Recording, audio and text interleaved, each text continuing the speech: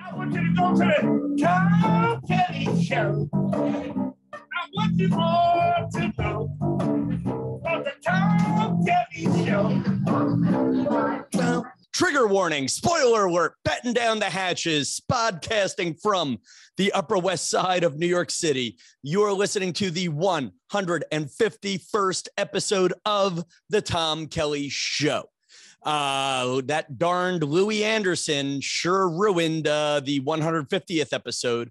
Uh, I was going to do a big anniversary show, and uh, I actually was asking you guys, uh, both on the podcast, on the YouTube channel, and uh, on social media, uh, what have you learned from the Tom Kelly show? And and you know because again this and if you notice I just changed one of the tag phrases about the show. I, I haven't put it in writing yet, uh, but instead of saying self help comedy, which sounds like I need help, uh, self improvement and fun sounds better, but it has so many more letters. Like, so I don't know how it's going to look on the graphic, but self improvement and fun sounds a little less like I'm a damsel in distress. And God bless, uh, I always identified with the princesses more than the Prince Charmings. And uh, here you are, the Tom Kelly Show. A lot to unpack in that last sentence, by the way, but let's not do that now. So, 151 episodes. It, and somebody wrote me a note, Tom, how could you have done 150 episodes of a podcast and I have not listened to any of them? And the answer is uh, because I have been doing a lot of them fast. And, you know, there's a lot to learn from making your mistakes quickly and at full speed. Uh, and in fact, that's part of why I'm starting to experiment uh, with a YouTube component for the show because it's time to fail differently. Uh, let's face it, even if I increase the number of listeners to this podcast by a factor of a hundred, I don't think anybody in podcasting is really making that much money. And yeah, what would what's a hundred times a hundred? Uh, that would be what ten thousand listeners. Somebody check my math. Alexa, what's a hundred times a hundred? So yeah, 10,000 lists. Whoop de friggin' do. Uh, by the way, I'm sorry to all the people whose Alexas I just set off. Alexa, stop. There, that was for you guys. That was for anybody who I almost set off a second time. Uh, yeah. Uh, so, you know, we're doing this as a form of practice and we're doing this as a form of spiritual growth. Uh, one of my listeners, I'm not going to say whom, uh, wrote me a very nice note saying, Tom, I've been listening to your podcast on Sundays instead of going to church. Now, I really don't want to get into a ratings war with Jesus, but thank you for the support. So, this will be a mini anniversary show of sorts, a solo anniversary show, kind of like how I spent some of my birthdays in the last couple of years by myself alone in my apartment.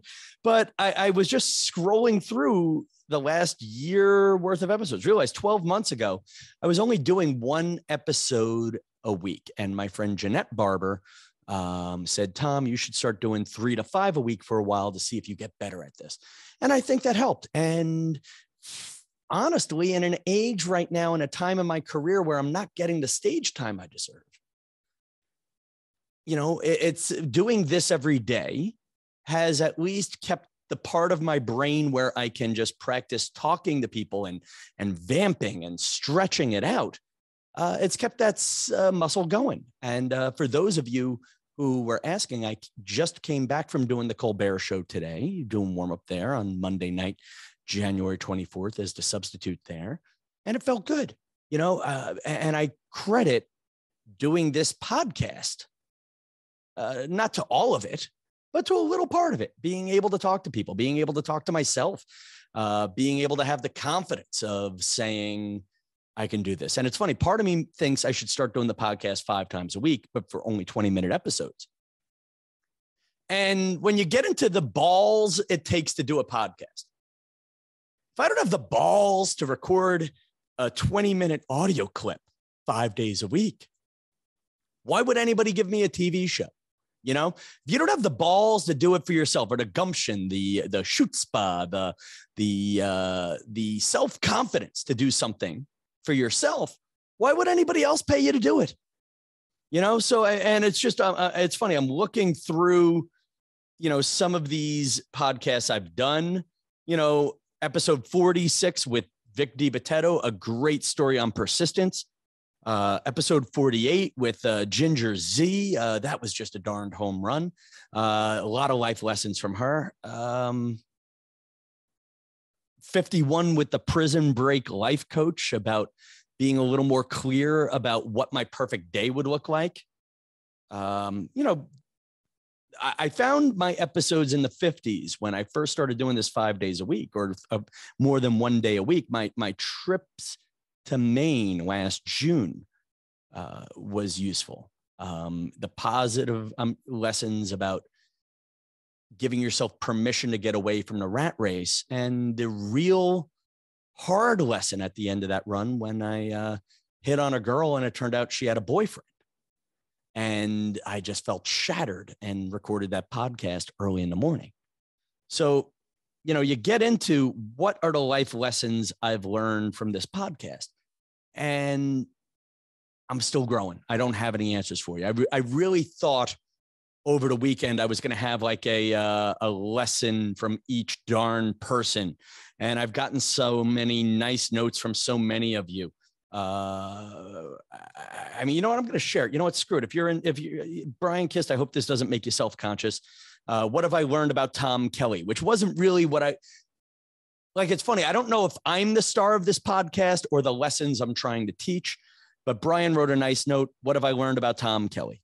He is funny, talented, complex, and a sensitive man who struggles with letting go of past transgressions to prove himself and his others his value.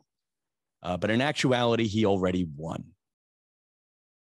That's BS. I didn't just learn this, I've always known it. Uh, you are sincere and genuine in an industry that doesn't reward such qualities.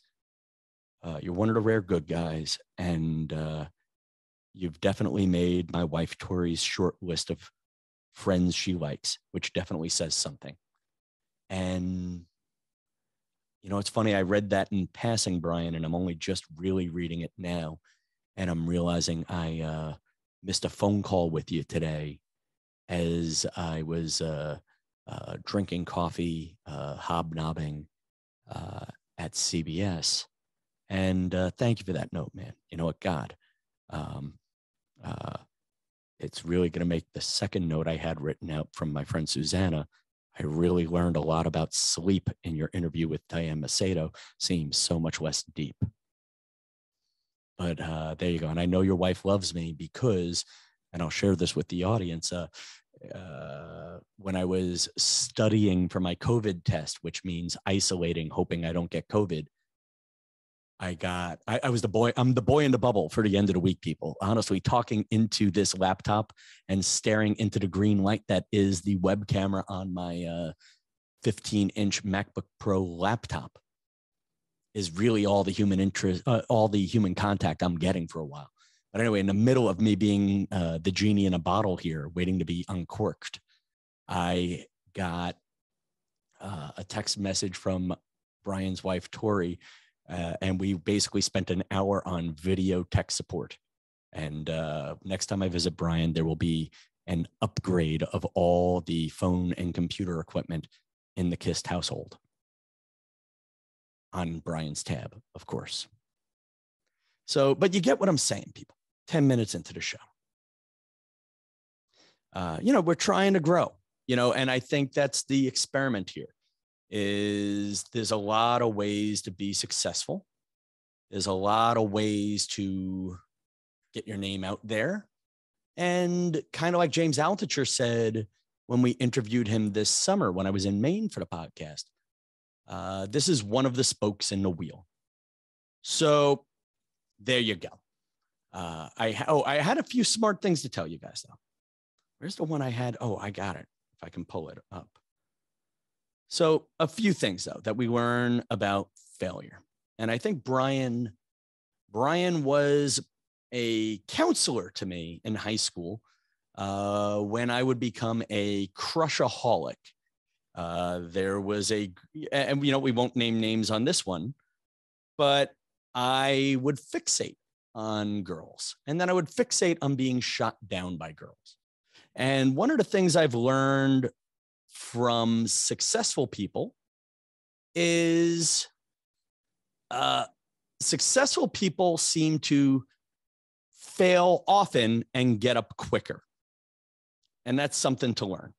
Um, and when we, I heard this on a Australian podcast that's sort of a business podcast. It used to be about creating podcasts. Now it's about launching brands. And it's called uh, Socialette. Whoever she was interviewing was one of those uh, manifestors, uh, somebody who's into manifesting your vision, which I, I, don't know if I'm great at. I have a vision board, which one day I should show you guys. It's a, I used to have a big one, and right now it's a small one. But and you know they'll tell you about all these things you should do when you're manifesting your dreams. Uh, imagine what your walk to work would be like. Imagine what your you know uh, imagine what your paycheck would look like. Imagine what you would eat for breakfast at uh, at your job every day. And there's a certain point where that imagining gets exhausting. And this podcast guest, who is a woman, uh, said, uh, when you're done manifesting and you're, uh, or when you're done visioning and you're waiting to manifest, what do you do? And her line was, go dress up, shave your legs. Go shave your legs, which was her way of saying, go make yourself pretty like you're about to go on a date tonight. Go make yourself pretty like you're about to go out to the big job tonight. So here I am in a blazer, ring light on my face, expensive microphone over here, expensive guest microphone at the other end of the table that I've only used twice. I am a man here with shaved legs. So, Tom Kelly's life story, real quick. Born in Brooklyn in the year 1976. And in 1985, as New York City was falling apart, my parents and actually uh, also uh, uh, chunks of my cousins and chunks of my cousins' cousins everybody left Brooklyn to go to Long Island. And then a lot of people went to Jersey and Staten Island and whatnot. But my family went to Massapequa, Long Island, and we moved to a nice little neighborhood that I would call it was a neighborhood. That said, there were neighbors down the block and they were the best of them. Never a mean word out of them. They just moved to Connecticut. And Mr. Sabala's dad passed away. And I didn't know the man, but he was just one of those faces you, you saw a lot. And you waved to the guy whenever you saw him for 30 years. And, and without getting too crazy, um, Mrs. Sabala was very nice to my mom and very nice to me when my grandma went into a nursing home. Um, and I'm one of those guys. My father taught me. Uh, my father likes to go to funerals they say there's nothing more Irish than just going to funerals for people you barely knew. But it was a way of me honoring my own grandma and uh, uh, by honoring this grandpa I barely knew and whose grandkids, uh, as I suddenly realized at the funeral, I barely knew. Um, beautiful service, beautiful homily uh, by the grandson, but that's not why I'm rambling about this funeral.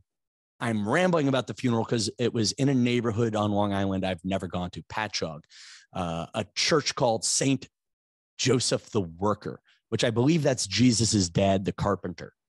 And I accidentally got to this funeral, which I figured was going to be full of people I did not know. I thought I was 15 minutes late, and it turned out I was an hour early, but I did not know that at this moment everybody in the church is socially distant, wearing a mask, and in a moment of what I would call intense prayer.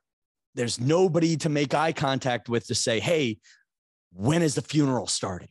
And I waved to the priest. And the and for those of you who don't know Catholic stuff, modern churches built after 1960 have little rooms that they call confessionals. There's either a nice living room part or you could sit behind a fence and do it the old fashioned way. And, and I've, the times I've gone to confession, uh, they give you the choice. I follow, I see the priest, the priest walks into the confessional, he waves me to follow him. And I go into the room. I figure he's just didn't want me interrupting prayer or the funeral. What do you know? He's behind the confessional wall. I say, Hey, Father, I, I, this is kind of an accidental confession. Uh, and he's like, There are no accidents with God.